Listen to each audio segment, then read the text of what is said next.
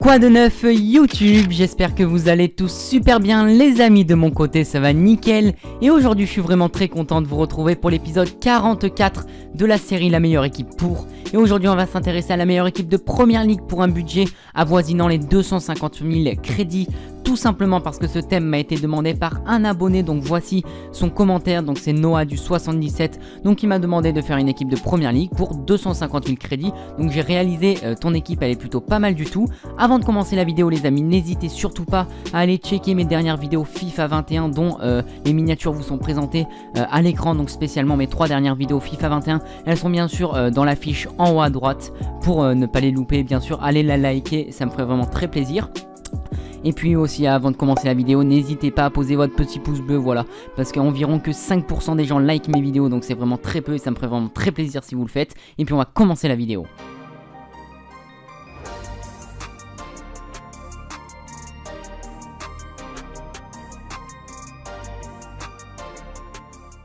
Les amis, on va commencer la présentation de cette équipe incroyable de Première League pour environ 250 euh, 000 crédits par le gardien de but. Et à ce poste-ci, j'ai choisi d'y faire figurer un gardien low cost, mais qui est cependant très très bon sur le jeu, les amis. Et c'est Rui Patricio euh, du club de Watford. Il est portugais, il a 83 de notes de général avec 84 en plongeon, 82 en réflexe, 81 en positionnement, 80 en jeu à la main. Voilà, on pourrait dire que ses stats sont pas vraiment très très folles, les amis. Ça, c'est la réalité. Mais dans le jeu, il est vraiment très très bon ce gardien de là franchement je l'ai testé euh, même l'année dernière donc sur FIFA 19 euh, et c'est sur FIFA 19 d'ailleurs que je l'ai découvert. Il avait environ la même carte voilà quelques exceptions près et franchement il était très très bon. Du coup je me suis dit bah, pourquoi pas le tester cette année et c'est la même carte. Il est vraiment incroyable ce gardien de but voilà. Pas besoin de dépenser des 1000 et des 100 euh, pour des DREA voilà dès que c'est un tout petit budget. Après dès qu'on a un budget voilà un million de crédits là on peut se le permettre.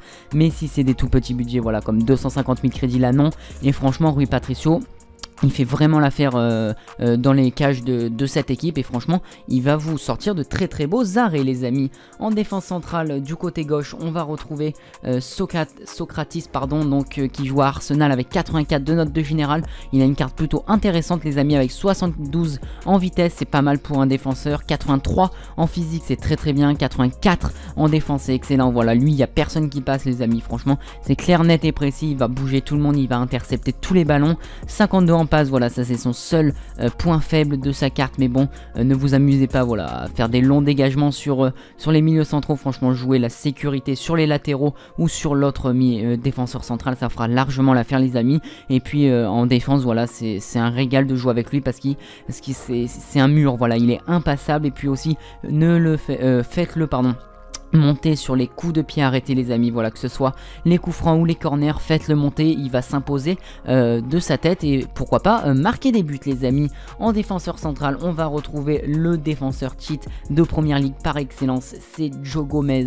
Avec 82 notes de général il a 81 en vitesse. C'est extrêmement rapide pour un défenseur central. Il a 9 points de plus en vitesse que euh, son compatriote Socrates. Donc voilà il se compense 76 en physique c'est très très bien. 79 en défense c'est excellent donc Socatrice est largement meilleur euh, dans les stats défensives et c'est Gomez dans euh, la vitesse, donc il se compense. Et aussi Gomez est meilleur que Socrates dans la passe, donc voilà, je trouve que, que ces deux euh, joueurs s'équilibrent bien, voilà qui se complète très très bien. Donc je trouve que c'est une très très belle paire de défenseurs central de défenseurs central voilà les amis. Franchement mais Socrates comme je vous le répète n'hésitez surtout pas à le faire monter donc sur les coups de pied arrêtés. Et puis Gomez vous pouvez le laisser en défense. Comme ça vous avez un défenseur qui court très très vite et qui pourra intercepter euh, les attaquants qui courent également très très vite les amis. En défenseur droit on va retrouver le meilleur le meilleur latéral euh, du jeu avec une carte bien sûr hors rare. Euh, les amis, c'est bien sûr Kyle Walker, donc il a 84 de notes de général avec 91 en vitesse, c'est extrêmement rapide. Euh, le double 81 dans les stats défensives, donc 81 en physique et puis 81 en défense. Donc ça c'est vraiment très très bien parce que souvent les latéraux ils se situent aux, alentours voilà, des 75 dans ces deux stats là. Et puis bah, c'est pas mal vu que c'est la moyenne. Mais après Walker voilà avec son 81 et son 81 en défense et en physique franchement il n'y a personne qui passe. De plus il est extrêmement rapide donc il va rattraper tout le monde. Et franchement c'est une tuerie de jouer avec lui. Après avec son 76 en passe vous pouvez bien sûr euh, dégager, euh, enfin dégager, euh, délivrer une très très belle passe pour les ailiers les amis. Parce qu'en plus j'ai fait exprès euh, de euh, choisir ce dispositif là donc c'est le dispositif 4 à 3 euh, le numéro 4 parce que c'est le dispositif selon moi qui est le meilleur voilà quand, c'est une équipe pas hybride donc c'est à dire une équipe de championnat une équipe française une équipe que sais-je encore n'hésitez pas à privilégier ce dispositif là parce que je trouve que c'est le meilleur les amis.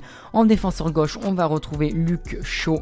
Donc Luc Shaw voilà il garde une carte comme sur tous les FIFA très très intéressante avec 81 de notes de général, après il a 82 en vitesse, ça compense largement la, euh, la note de Socratis, euh, donc avec 10 points en plus dans ce domaine-là. Après 78 en passe, donc il se situe largement au-dessus de la moyenne également.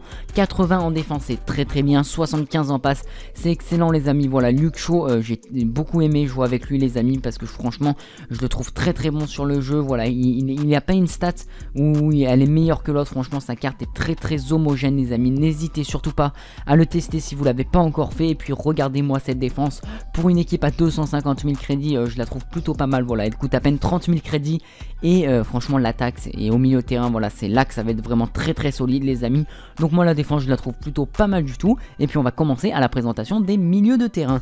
Donc en milieu de terrain, euh, milieu droit les amis, on va retrouver Doucouré vous prenez sa version 84, euh, pas 86 parce qu'il y a une différence de prix de 50 000 crédits donc c'est vraiment très très cher les amis, son second uniforme et c'est en plus sa carte 84 ferait largement l'affaire donc il a 72 en vitesse, 78 en tir, 76 en passe, 84 en physique, 83 en défense donc lui un milieu défensif central pur les amis, voilà c'est une carte Gullit Gang les amis franchement.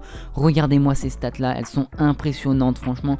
J'ai adoré jouer avec ce euh, joueur là au début je crois dès que sa carte est sortie, coûtait environ 80 000 crédits. Et franchement, il est valé son prix là. Et là, il coûte qu'à peine euh, donc 25 000 crédits. Donc sautez sur l'occasion, les amis. Franchement, je le trouve largement meilleur que Fabinho, que Viginaldoum, que, que Fernandinho, voilà, que, que d'autres encore, les amis, que j'oublie. Et mais franchement, euh, Doucouré, c'est vraiment un milieu défensif central voilà, qui, aide vraiment la défense et qui est très très bon les amis. Euh, en euh, milieu défensif central, là on va retrouver NDD, encore un excellent joueur et vous prenez sa version. donc Moments les amis, avec 87 de notes de général, il a 77 en vitesse, 74 en tir, 87 en physique et 89 en défense. Voilà une carte Gullit Gang aussi. Donc pour ceux qui trouvent la défense pas très très solide les amis, et ben voilà là on a 2000 de défensifs centraux extrêmement solides avec des stats défensives incroyables. Donc là, euh, ça peut vous rassurer, je pense, les amis, euh, parce qu'après, on a 4 joueurs très très offensifs. Euh, donc les 4 joueurs qui restent, bien sûr, parce qu'il faut marquer des buts quand même dans une équipe. Donc je trouve que ces deux milieux défensifs centraux vont bien épauler la défense, vont bien l'aider, par exemple, dans intercepter des ballons, récupérer les ballons, les relancer. Et franchement, ces deux milieux défensifs centraux font vraiment l'affaire. C'est une tuerie de jouer avec eux. Ils savent tout faire, ils savent courir, faire des passes, euh, même tirer pourquoi pas, et puis euh, surtout bien sûr euh, défendre. En milieu offensif central les amis, on va retrouver la nouvelle recrue des Red Devils, c'est bien sûr Bruno Fernandez. Il coûte 16 000 crédits et franchement son prix est mérité parce qu'il a une carte très très intéressante les amis avec 85 en note de général avec 77 en vitesse donc c'est très très bien pour un milieu offensif central, voilà pas besoin de plus, pourquoi pas un 80 à la limite, mais sinon après c'est vraiment trop rapide. 83 en tir, c'est très très bien. 87 en passe, donc lui c'est bien sûr son point fort la passe, donc il a une patte gauche extraordinaire les amis. 74 euh, en physique, c'est excellent. 85 en dribble, c'est très très bien les amis. Donc n'hésitez pas, dès que vous avez la balle, pourquoi pas éliminer quelques joueurs et puis euh, voilà, délivrer la passe les amis parce que 87 en passe c'est très très bien. Et puis lui euh, du côté de FIFA 21 je pense qu'il pourquoi pas euh, montera à 88 de général donc prendra un plus 3 ce serait vraiment très très intéressant. Et là il, ferait partie voilà des meilleurs joueurs de première ligue et franchement il le mérite largement parce que depuis son arrivée à Manchester United il a donné un nouveau souffle à cette équipe et je trouve que c'est un excellent patron sur le milieu de terrain les amis. En attaquant gauche on va retrouver Wilfried Jota les amis. Euh, un joueur très très sous-côté euh, qui joue à Watford les amis, donc comme euh, son compatriote Rui Patricio. Et franchement que Jota il a une carte vraiment très très intéressante. Et, malheureusement il est très très peu joué, voilà pour ne pas dire pas joué du tout. Parce qu'il a une carte vraiment très intéressante les amis avec 86 en vitesse. C'est plutôt pas mal, 83 en tir c'est excellent pour un ailier les amis. Parce que souvent il se situe aux alentours des double 75 comme les latéraux dans les stats défensives. Mais eux dans les stats offensives. Donc ils sont à la passe et, la et le tir Franchement, Jota, il a 83 en tir, donc c'est très très bien. 74 en passe, euh, c'est pas mal du tout. 79 en physique, c'est excellent. Souvent, les ailiers, voilà, ils se situent aux alentours, même pas des 60, donc c'est excellent. Voilà, c'est ça là. 87 en dribble, c'est très très bien aussi. Donc n'hésitez surtout pas à privilégier ce joueur parce que d'une part, il est low cost et d'autre part, il est vraiment très très bien et il a testé les amis. En attaquant droit, on va retrouver Raheem Sterling, donc on voit euh, dans beaucoup d'équipes parce qu'il a une carte très très intéressante avec 80 88 de note de général. Donc lui, sa vitesse, c'est son point fort bien sûr. Il a une accélération fulgurante. Donc n'hésitez pas à courir avec ce joueur-là. Voilà, en plus, avec son compatriote Walker, il va, lui, il va bien monter Walker et lui délivrer une passe dans la profondeur. Et Sterling n'aura plus qu'à centrer ou bien à tirer. Donc ça, c'est vraiment très très bien. Euh, ensuite, 79 en tir, c'est pas mal. 78 en passe également, c'est très très bien. Donc voilà, comme je vous disais, les ailiers se situent aux alentours des 60 et lui en physique. Et lui, il a 57. Donc voilà, ça c'est son seul point faible. Mais tellement qu'il court vite, voilà, ça se ressentira pas. Il sera très rarement bouger, les amis.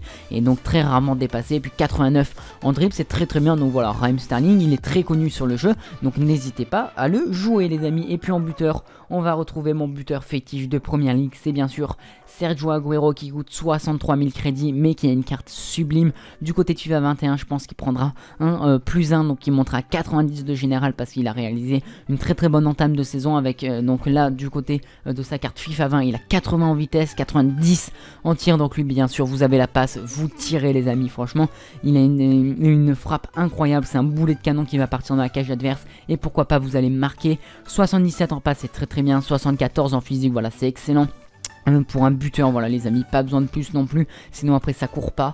88 euh, en dribble, c'est excellent. Donc voici l'équipe sous vos yeux. Donc comme je vous ai dit, privilégiez ce dispositif là pour une équipe euh, pas hybride, donc pour une équipe de championnat ou de nation. Et franchement, ça fera largement l'affaire. C'est un dispositif incroyable.